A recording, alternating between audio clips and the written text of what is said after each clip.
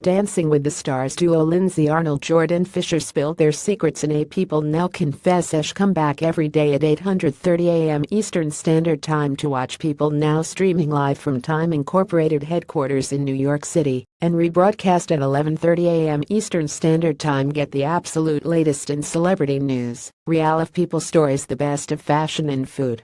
Want even more watch clips from yesterday's People Now?